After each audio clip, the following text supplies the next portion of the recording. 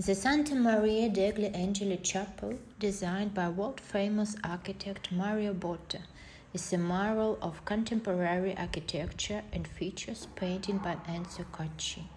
This impressive edifice built on a spur of the mountain offers a place for meditation as well as a new perspective on the landscape. The chapel built between 1992 and 1996, is dedicated to Santa Maria degli Angeli, and its innovative design represents a new take on religious architecture.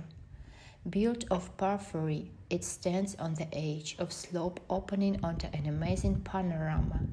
The paintings by Enzo Cucchi occupy two main areas the vault of the footbridge where there, there is a tall cypress tree and the very heart of the church. The deep blue apse features hands cupped in offering. 22 panels above the window also continue the Marian iconography.